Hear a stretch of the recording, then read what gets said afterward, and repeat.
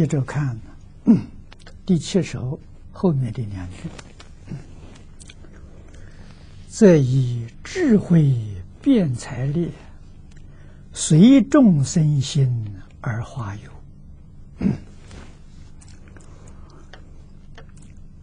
这个第一句里头啊，重心是智慧啊。下面一句呢是随众生心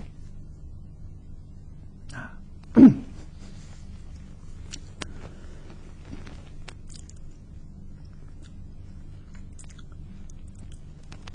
没有智慧就没有辩才啊，辩才是从智慧呀生的。那么这个地方讲的辩才。跟世间所说的辩才不一样啊！世间有世之辩聪啊，那是什么？常识丰富啊，他也有辩才。那么佛法里面讲辩才啊，有四无碍辩才。这是佛法里说的，这个意思我们要懂。四无碍，第一个是义，义理没有障碍呀。那么一般说，对于一切法，不论是世间法还是出世间法。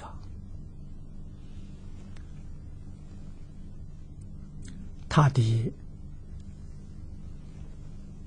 性相、理事、因果，你都能够啊通达明了。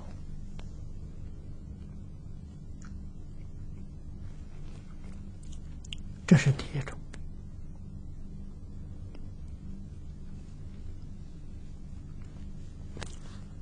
这个辩才。佛法里面，特别是大乘教里头所说的，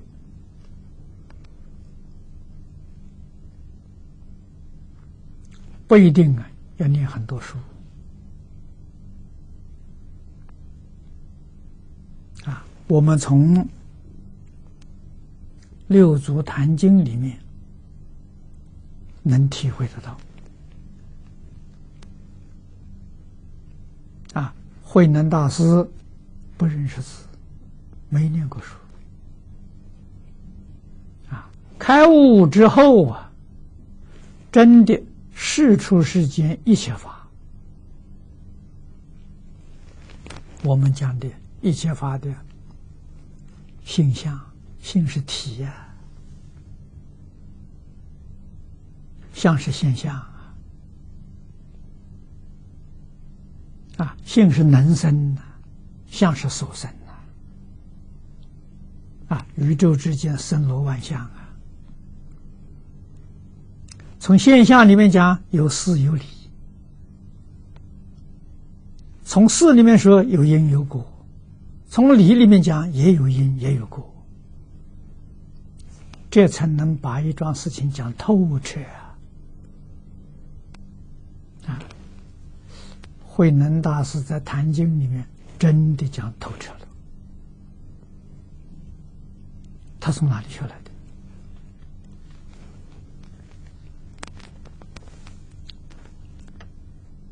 那么我们念的《华严经》这一段呢，哎，就明白了。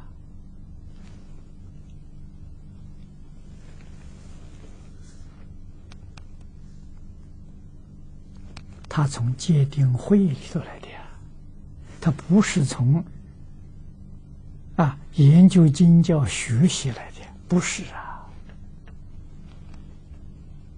有一个代表人物，神秀大师，他是从经教里头学习来的。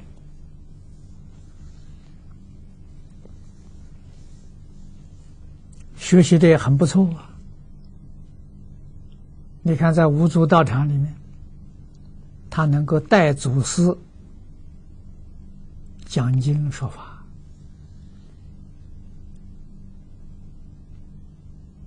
啊，教化大众。但是那个辩才无碍呀，啊，智慧辩才力了，他没有。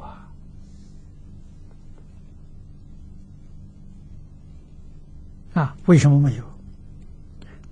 不思议境界，他没有入进去。这个入不思议境界，前面跟诸位说的很多了。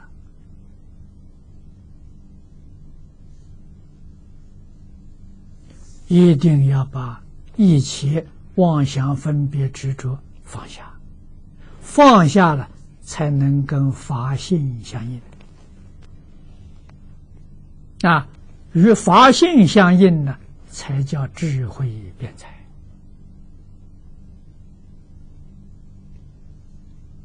啊，而不是跟烦恼相应呐。啊，烦恼是什么呢？阿赖耶。啊，跟阿赖耶相应不行啊。这，八十五十一心所，这个不行。啊，要。跟法性相应，这才有真正的智慧辩才啊！能与性德相应，《华严经》上不仅是《华严经》的，一切经不仅是一切经，一切法啊，任何一法。要请你讲啊，你都能讲得头头是道啊，都能讲到无量义。为什么？一切诸法了，体都是自信嘛？啊，自信是无量的嘛？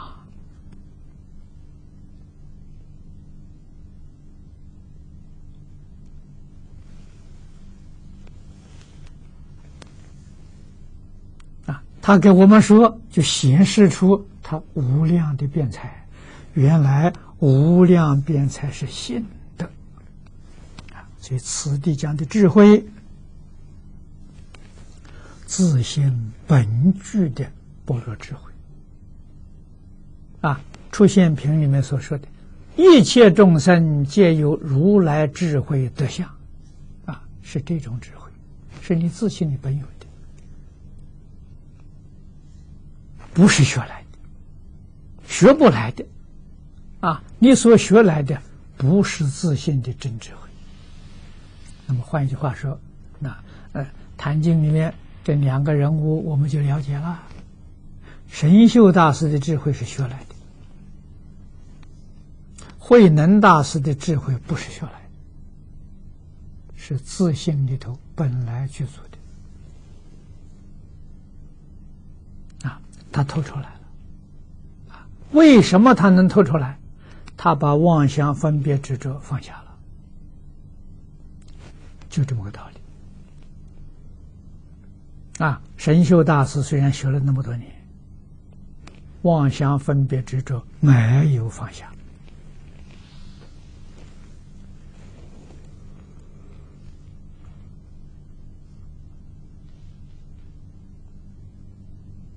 他真放下了，他就不会写“身是菩提树，心如明镜台”，他就不会写这个句子了。啊，真放下哪里有呢？真放下是本来无一物啊，何处惹尘埃了？啊，这就是说，一个人放下了，一个人还没放下。啊，放下之后，智慧也得相显前了。没有放下的，我们现在的这个佛门里面讲呢，是知识，不是智慧。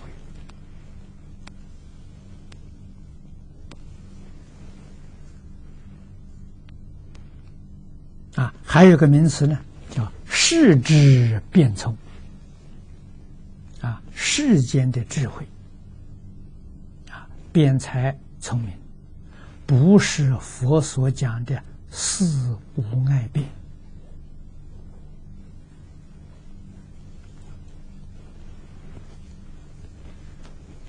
啊。四无碍辩里面第二个意思，诸法名相分别没有障碍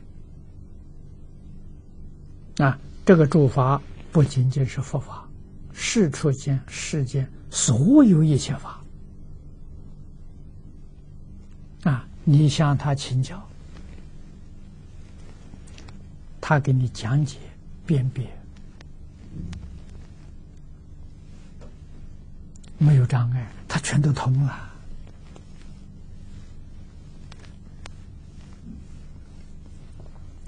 你比如说学佛的同学，我们举很浅显的例子，遇到人问你。什么叫佛？佛是什么意思？你能说得清楚吗？那这个不要自信智慧，这个佛学常识，稍稍懂一点，也都能说得清楚当然，从智慧辩才里面说出来呀。那当然透彻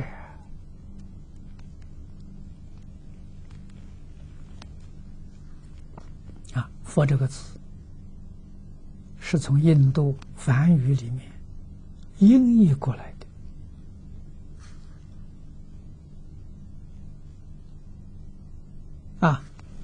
翻译成佛陀，佛陀也啊。那么中国人喜欢简单。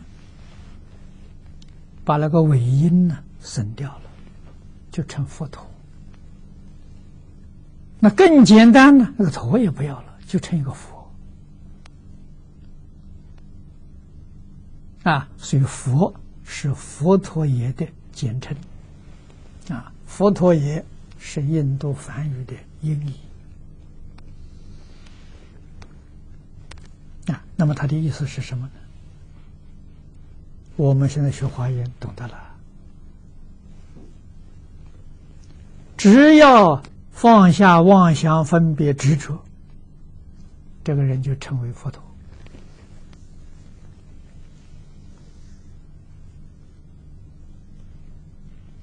啊！能够这三大类的烦恼啊，能够放下一种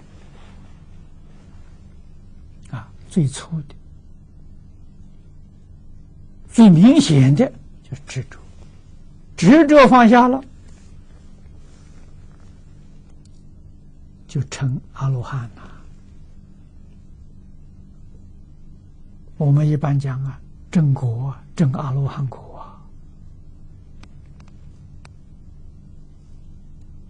啊，啊，执着放不下，反复啊。一定要学，希望呢，我们的执着，越来越淡薄，啊，越来越淡了，你的功夫就越往上提升了，不不能不做，什么都要淡，不要去计较。这印光大师啊。教我们一个方法，比什么都好。啊，他老人家现身说法，自己做了再告诉你。啊，什么方法呢？他的佛堂啊，佛像上面挂了一个字“死”。每一天，你看在佛堂里面礼佛、诵经、念佛，都看到这个字，常常想到我就要死了，还有什么放不下？还有什么好计较的？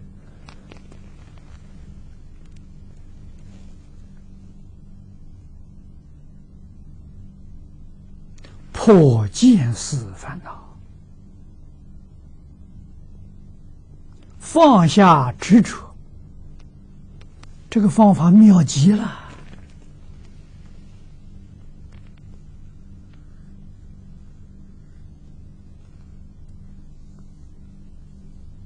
啊！他一生呢，为我们现身说法啊，我们生活也好，工作也好，处事待人接物也好，想到死了。还有什么计较的？还有什么好执着的？啊，我们这个关能够突破，念佛的功夫成片，轻而易举啊！啊，功夫成片，生凡圣同居土，就有把握了。啊，而功夫好的，真能做到自在往生。啊，什么叫自在往生呢？想走就走，没有障碍。啊，想留几年不不干事。啊，留几年为谁留的？为众生留的，绝不是为自己。啊，为自己再留几年呢？那你一定还没有放下。啊，你你的执着没放下，执着真放下了，有什么好留恋的？啊，随时可以走啊。啊，那样留下来是，还有一些众生可以帮忙。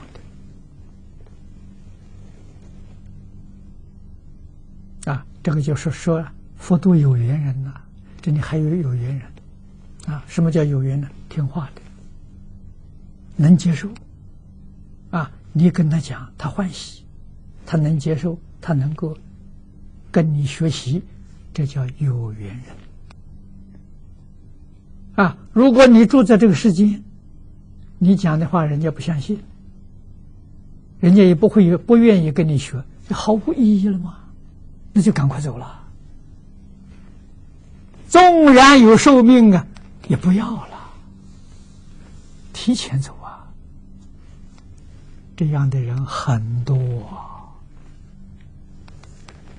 过去有，现在也有不少啊。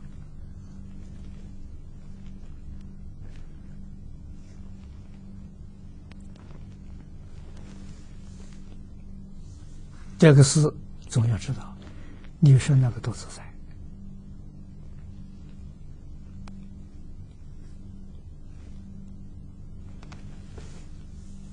这是好事，第一等好事，每个人都可以证得，啊，就怕你不愿意做，那就没法子了。你只要肯，没有一个不能成就。希望我们努力呀！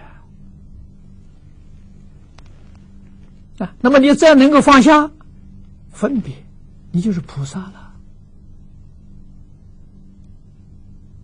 啊，如果你妄想起心动念分，那你不就是即生成佛了吗？从理上讲，凡夫成佛，一念之间。啊，你一念能够把妄想、分别、执着通通放下，你就真得了。啊，好在在中国历史上有个慧能大师给我们做了榜样。啊，《华严经》上是善财，善财给我们做榜样啊，《法华经》里面是龙女，都有好样子啊！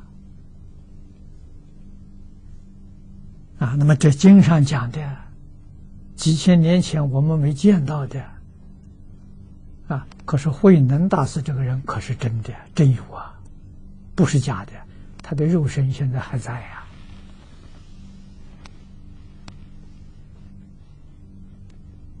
没有别的，就是放得下了。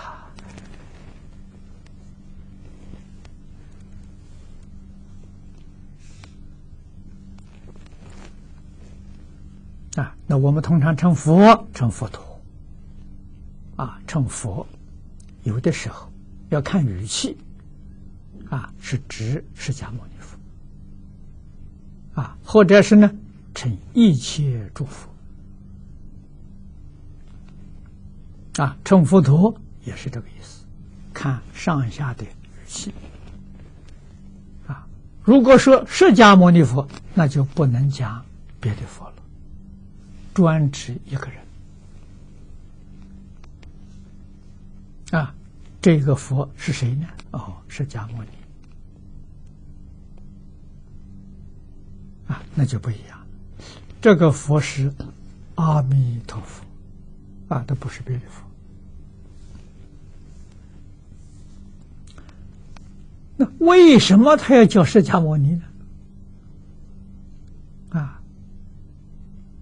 经教里面，佛告诉我们，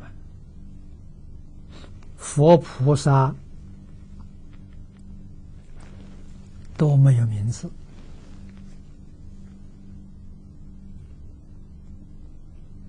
阿罗汉还有名字，执着虽然断掉了，习气没断，啊，菩萨没有名字，佛当然更没有名字。啊，所以佛是一个三大类烦恼断干净的人，菩萨是三大类烦恼啊断了两种，两大类，啊，就是分别执着都断掉了，阿罗汉只断一种，啊，执着断掉。这个名称的意思要懂啊！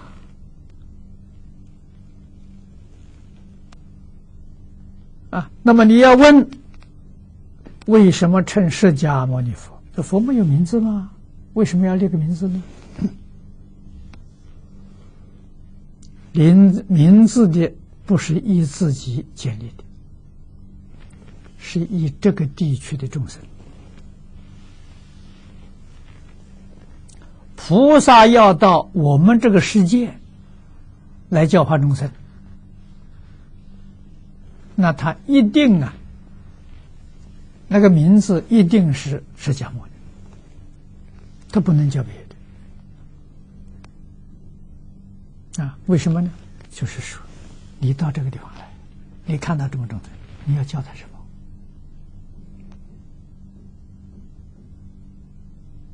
啊，佛菩萨绝对不是已经制定好的功课来教你，不是的。佛没有定法，佛是因材施教啊。看你现在需要什么，他就教你什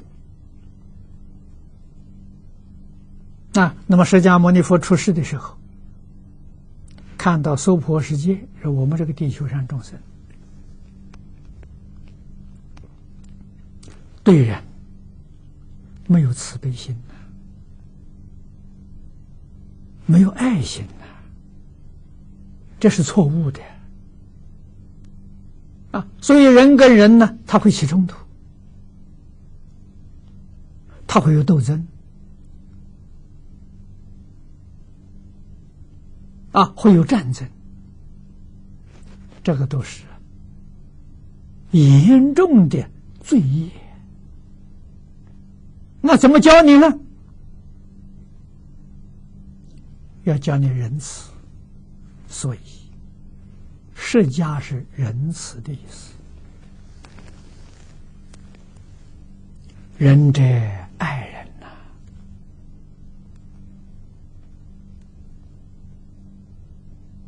啊，慈悲决定不杀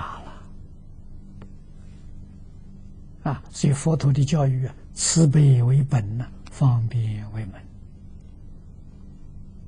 啊，那么由此可知，哦，原来提出释迦，释迦是教我们的宗旨，啊，教学的宗旨，啊，教我们对待人要慈悲，要有爱心。摩尼呢，摩尼是清净的意思，啊，这对自己，啊，我们娑婆世界众生有严重的染污。贪嗔痴慢的染污啊，心不清净呐。所以佛用这个方法来教我们啊。我们听到这个名号，立刻就想起我心清不清净，我的行为清不清净。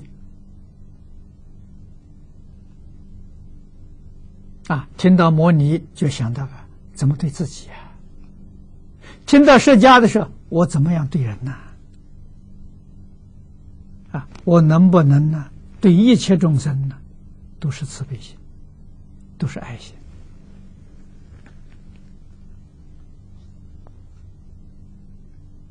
啊。那么由此，这个名号原来是在这个地区、这个时段的教学。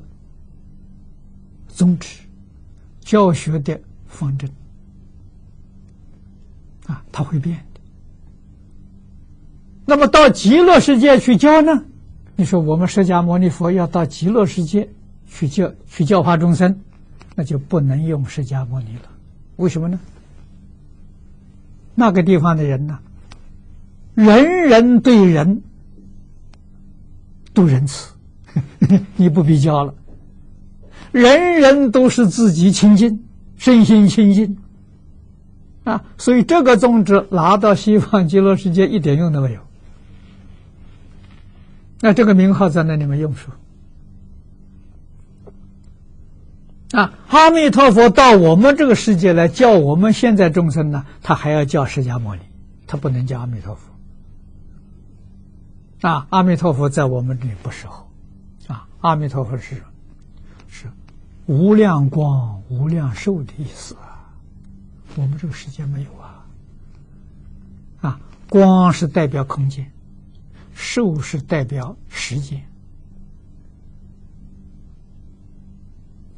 那就是包括一切法了。啊，一切法都无量，在我们这个世界看不到，就是无量的智慧。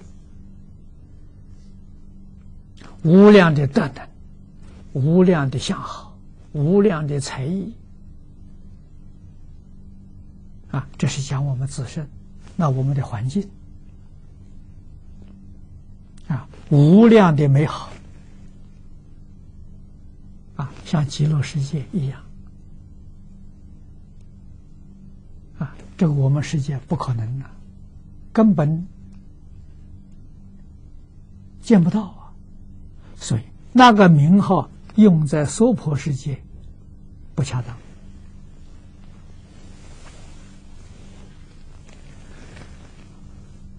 啊。那用在他那个地方呢，就非常恰当啊。因为人人都是好人，都回归到自信了，自信是无量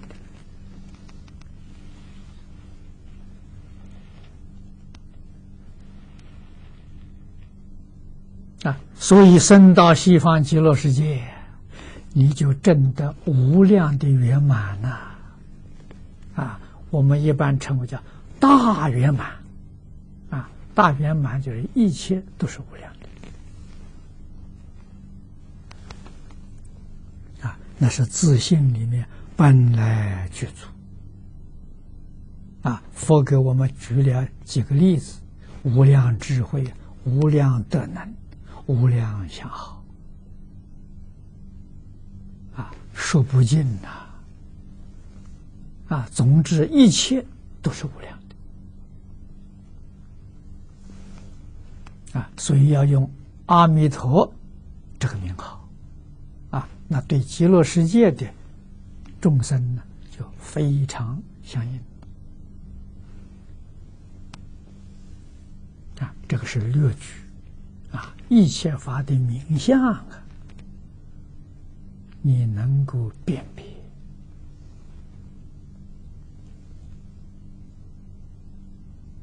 没有错误，没有障碍。啊，第三个是慈无碍，啊，慈无碍别。此是言辞啊，你所用的言辞，要叫众生真正的能听懂了，这个很重要啊！啊，如果你说的虽然很好啊，那众生听不懂，啊，这个不行啊。那么言辞里面就包括了语言。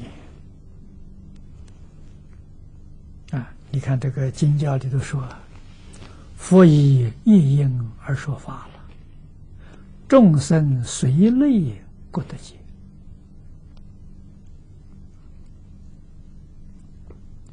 啊，是自然的，不要用翻译。啊，我们这个世间各个地区语言不相同啊。啊，佛爷上讲台。跟大家讲演的时候，没有一个人听不懂。每一个人听的都是自己的语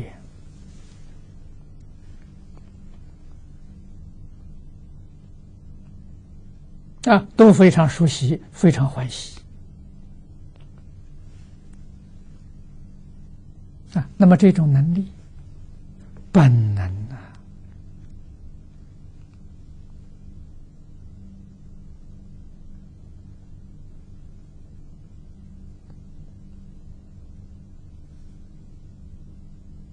这个世间确实也有人研究，啊，研究语言学的，发现呢，语言有根。你真正能把根找到之后啊，啊，各种语言的学习都非常容易。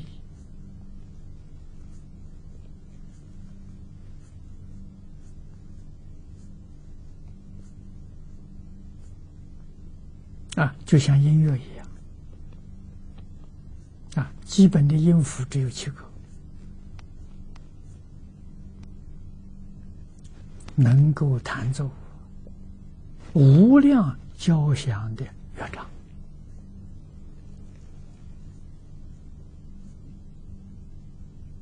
就很像啊，慈无碍变呐，啊，能令一切众生听到。都能欣赏，都能感动，都非常欢喜。哦，这个很不容易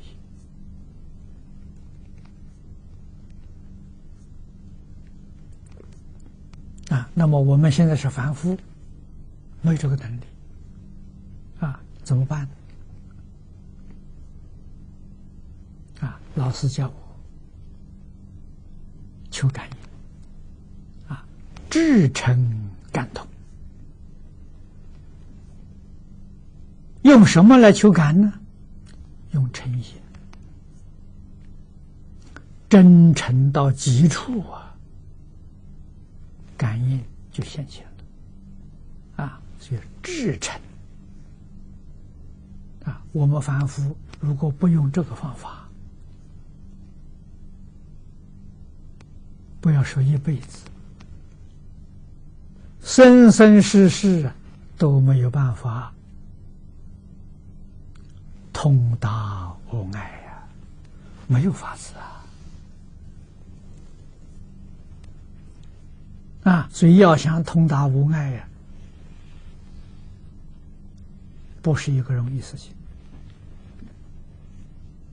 啊，要学，在从前老师告诉我，讲学讲经，举这个例子不容易。为什么呢？事出世间法，你都要通达。你不通世间法了，就不契机；不通佛法了，就不切理。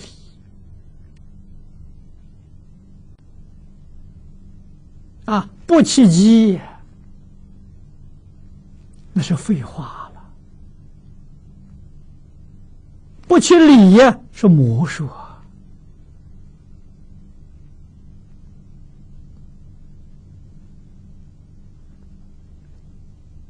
啊！魔也有辩才，也能讲到大家呃听得非常欢喜。但是，他讲的不是真理，他讲的是邪道，啊，那就是佛法里面讲的世之变从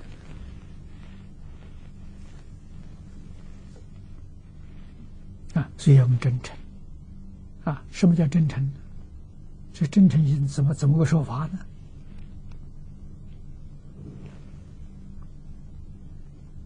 清朝末年，曾国藩先生，这是个读书人，在读书笔记里面讲“诚”下了个定义：一念不生是为诚，真诚到极处啊，就是一个杂念都没有了。换一句话说。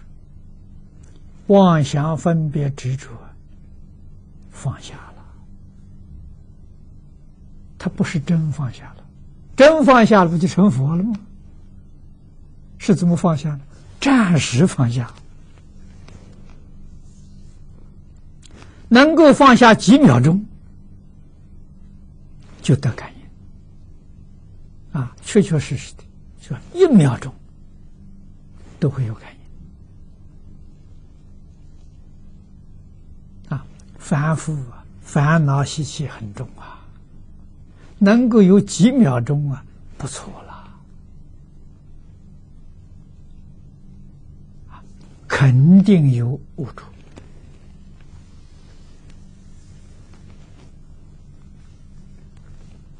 啊。我们今天讲这个放下，暂时，并不彻底，时间并不长。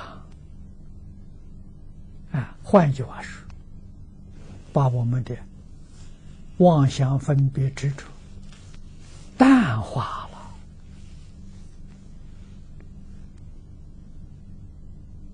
就有感应。啊，非常明显的是对于经教，你能看得懂，你能看到很多意思。那为什么别人看不懂？我们常讲粗心大意呀，他看不懂啊。那么细心啊，就看懂了。那细心什么呢？烦恼轻，粗心的呢，烦恼重。啊，也就是分别执着重，他就很不容易切入。啊，分别执着很淡薄很轻，就比较容易切入。道理在此地啊！啊，你明白这个道理，才晓得学佛从初发心到如来地啊，究竟果地用什么功能？无非是放下而已，啊，你放下了，叫你再放下，啊，再放下了，还要放下，最后把那个放下也要放下。啊，还有个放下的念头还不行，你还没放下。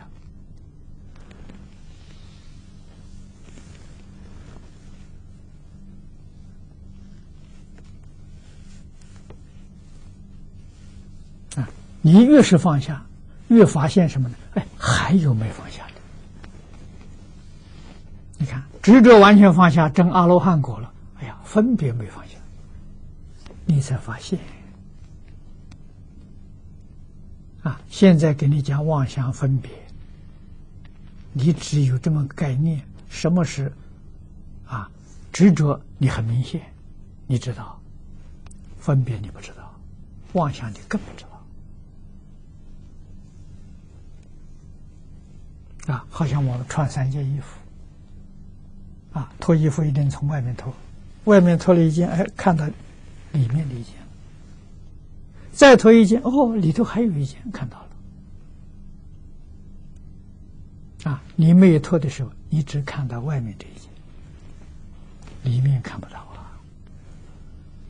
啊，今天是佛给我们说出来，哦，我们才晓得有三大类，而每一类的是真叫无量无边呐，所以不容易啊。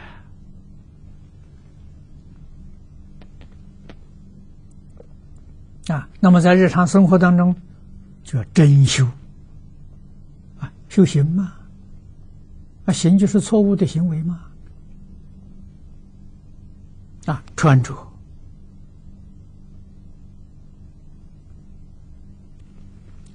干干净净的，能保暖就可以了，不必讲求啊，款式啊，也不必讲求啊。质料啊，啊，那你要样样都讲求了，那就叫执着啊，什么都好，不执着，你就自在呀。啊，饮食也是一样的，啊，能吃得饱就可以了。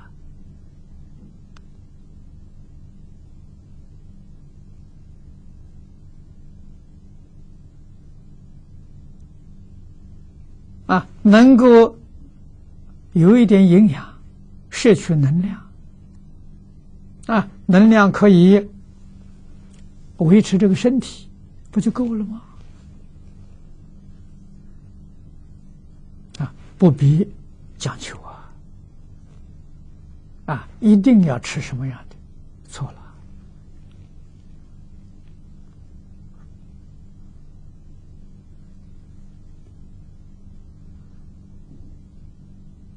人在这个世界，不应该伤害一切众生，是吃一切众生肉，这是错误的。啊，杀他来养自己。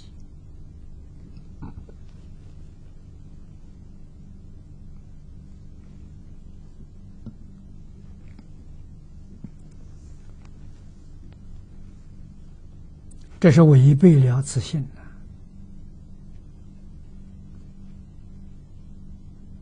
的啊！你看这个，就是念《三字经》上说的啊：“人之初，性本善，杀众生，养自己，不善啊！这哪是善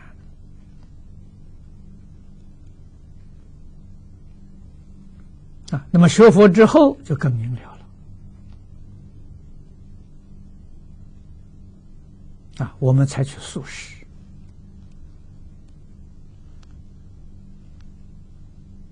如果是自己种的菜，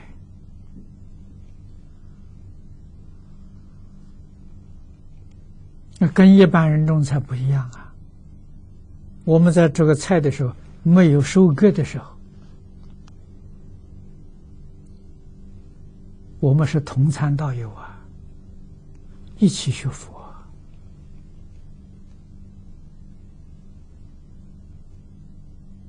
每一天呢，围绕着菜园念佛，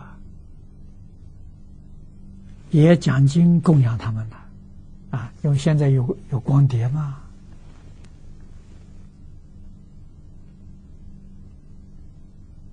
啊，播放讲经的这个光碟，啊，不必有影像啊，听就很好很好啊，啊，用念佛机，这个这个这个播放佛号，哎，供养这个菜呀，树木花草啊，特别茂盛。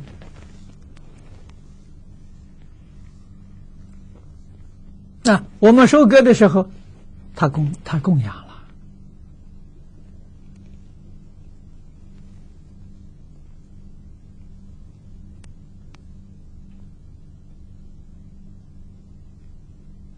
我们互相有协调，互相有恩惠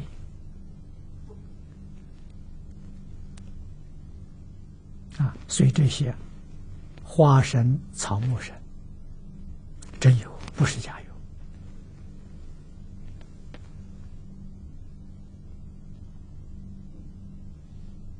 啊，我们共同成就这个道场，啊，成就大家的道业，啊，你真正修道，啊，这些素菜也都有修神呐，欢喜供养。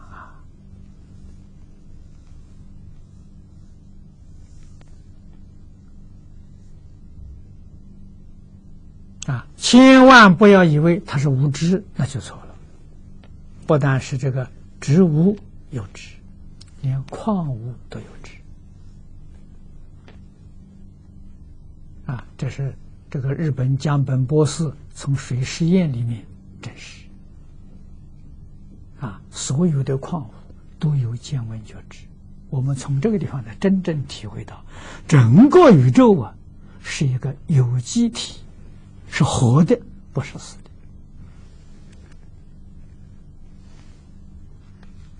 的。啊，这个说法好像有科学家也有这个认知，认为整个宇宙是有机体。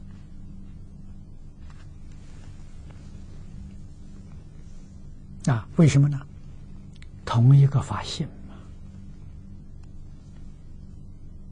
嘛。啊，华严上说的。唯心所现，唯识所变。啊，性实不是死的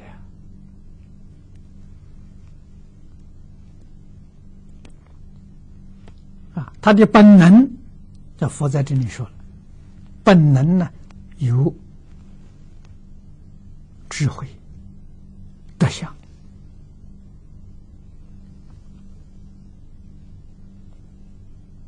啊，相就是相好，啊，德见闻觉知，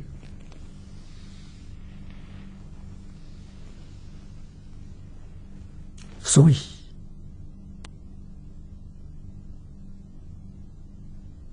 这边众生有感，那边众生就有应。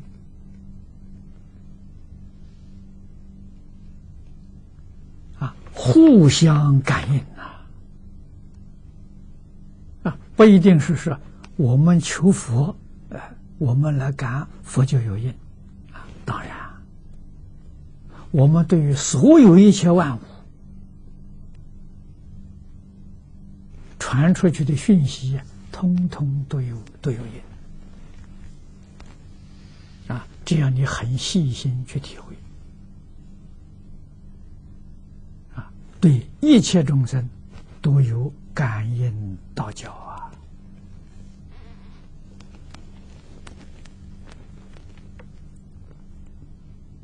啊，所以我们不但对人要仁慈，对所有动物要仁慈，对所有的植物要仁慈，对山河大地都要仁慈，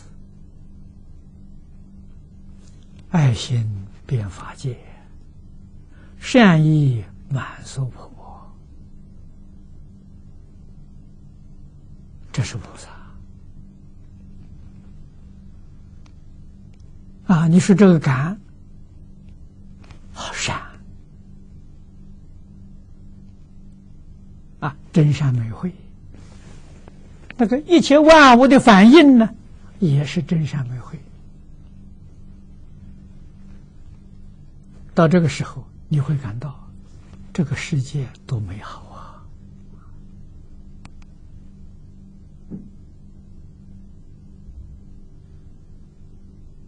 自己回归自信了，这个世界就是法性土。所以古德讲啊，净土即此方，此方即净土啊。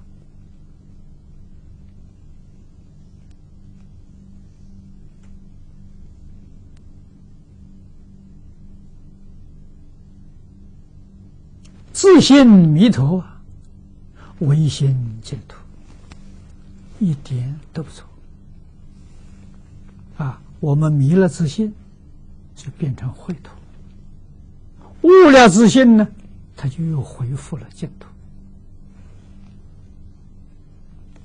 这个道理不能不懂，你要把这个道理参透了，你对佛在经上讲的不思议法了，你就不怀疑了。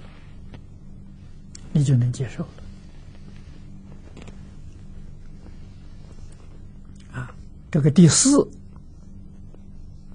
要说无碍啊，要是欢喜，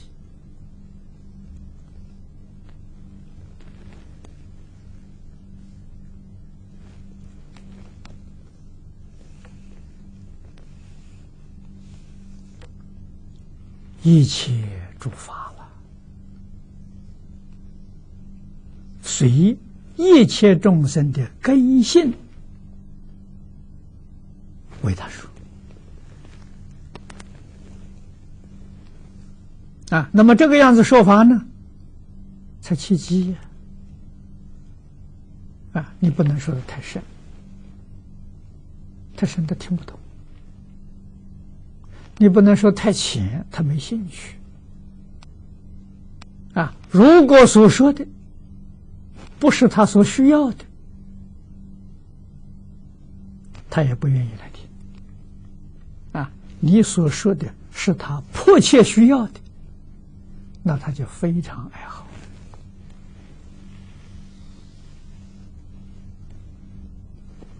啊，我们在安徽庐江办学，当地的领导告诉我们：你们最好。这个多讲一点呢，让人民怎么能发财啊？怎么能多赚钱？他们就非常高兴啊，个个都回来学了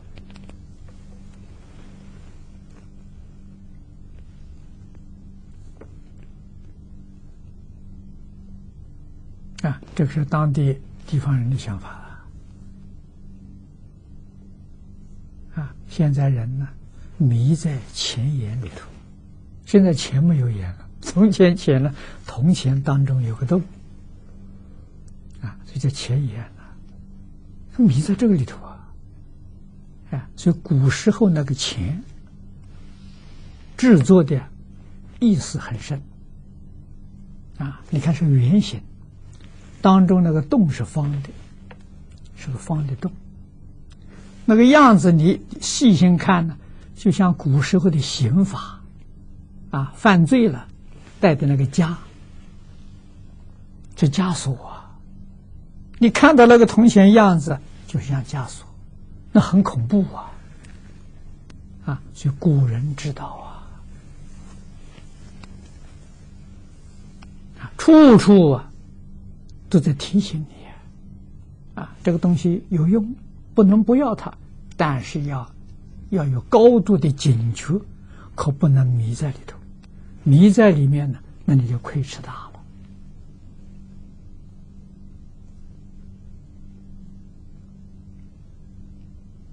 了。啊，那我们去教呢，是教伦理道德，是教怎么样做个好人。啊，最初当地的人也很不愿意接受啊，不想来听的，啊，结果我们的老师站在路上，看到人，深深一鞠躬，请他来。啊，当然来的人不多，还是不不愿意来听的人很多，来的人来听的人少数，听了之后啊，欢喜，啊，一个传一个。现在听说讲课的时候，有一两千人来听，啊，在从前一二十个人呢都很难得了，啊，你看不到半年，啊，现在办活动去讲演的话，都有一千多人来听，啊，为什么？他尝到味道了，知道这个好啊。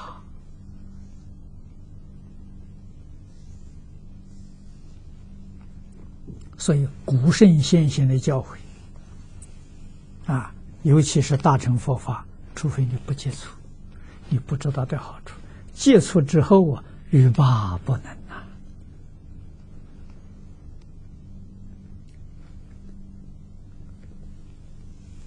啊，